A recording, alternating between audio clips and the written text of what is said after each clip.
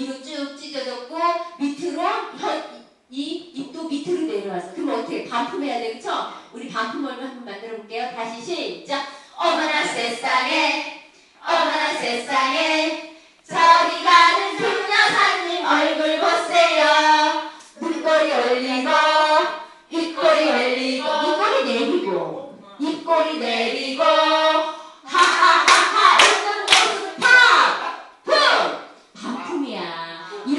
웃으면 안 된다는 거예요. 우리 복을 받기 위해서 어떻게 웃어야 돼? 입꼬리 올리고 웃어야 되잖아. 다 같이 명품 얼굴 한번 가보겠습니다. 시작! 어머나 세상에, 어머나 세상에,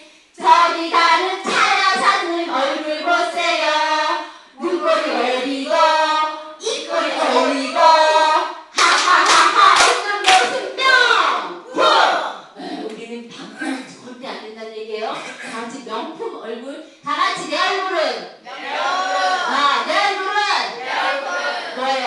내 얼굴은 내 얼굴은 내 얼굴은 아싸!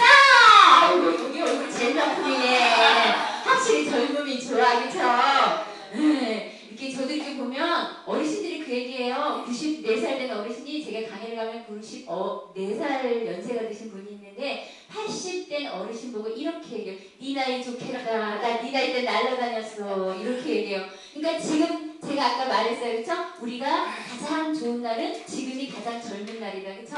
오늘 최선을 다해서 최대한 살아내야 되는 것이 나 자신이다. 교수님 시간 얼마 남았어요? 10분 남았어요. 10분 남았어요. 네, 가보자.